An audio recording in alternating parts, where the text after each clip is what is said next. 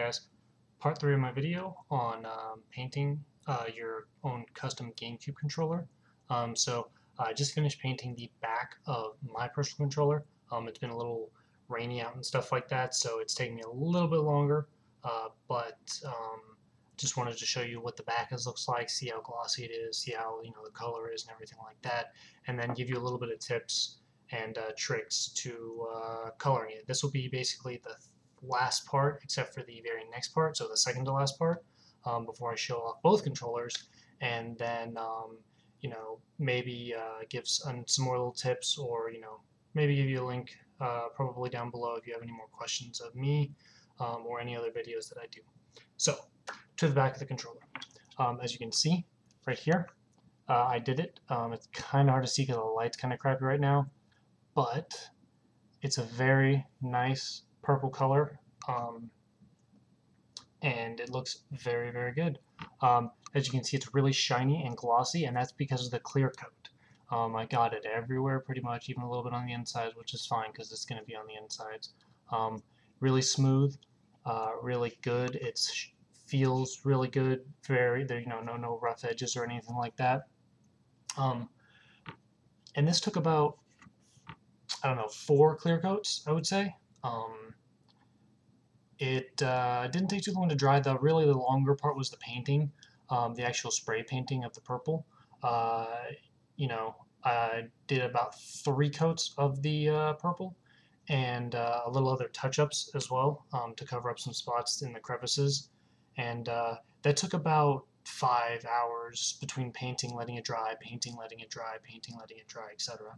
Clear coat, clear coat dries pretty fast, um, depending on the one. It usually takes about 10 to 15 minutes at most for it to you know dry dry uh, before you can uh, apply another coat of the clear coating um, you know I like I said I did four uh, you can do more you can do less depends on you know how good you are with it and how the texture you want it the more coats you put on it the smoother and the and the, the glossier the richer it's going to be so if you're looking for maybe just to seal it and give it a shite uh, a slight shine, uh, you know, maybe do a little bit less. Um, so that's that right there. Now there's a couple of tips and tricks that um, I learned uh, during this particular uh, painting that I wanted to share with you guys because they're very helpful little things that you may not know um, and that, you know, next time, especially when I make my roommate's controller that I'll do.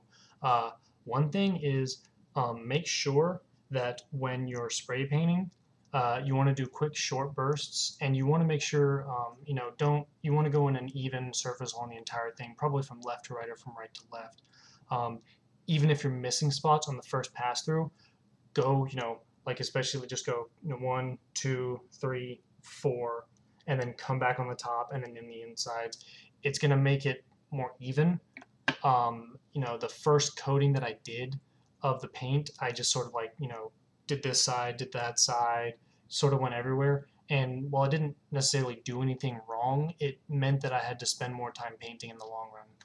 Um, another thing you want to do as well is make sure, um, like I recommended in the first video, uh, I used a plastic drop cloth.